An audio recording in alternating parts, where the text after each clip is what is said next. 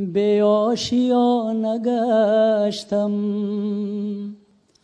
خانه به خانه گشتم به تو همیشه باغا شانه به شانه گشتم عشق یگانه من از تو نشانه من.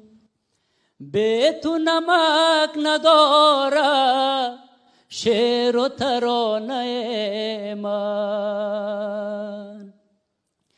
سرزمین من.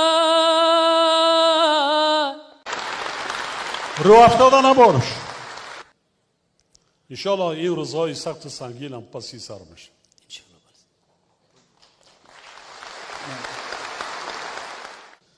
سیاست ما را میدانه نسبت به افغانستان. ما کوشش می‌کنیم. مردم افغانستان را تنها نمی‌گذاریم.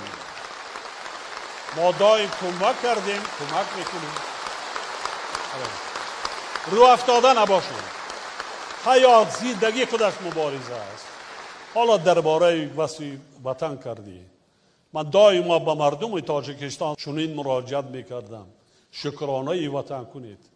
شکرانه وطن کنید بی وطنی زنده در گور در آمدن برابر است بسیار وزنی است و ما همین روزهای سخت سنگین عینا پسی سر کردیم میلیون ها گریزه بودند میلیون ها 157 هزار کشته شدند هر چیزی که می‌بینید این بعد برقرار شد بعد مردم با مهنت سرجمی ملت با آباد کردیم ساختیم ناامید نشوید از زندگی. بسر انسان هزار یک پسی و بلندی ها و مشکلی است.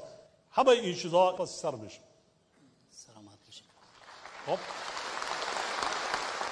ما امید داریم که بر روزهای بازم خوشحال میره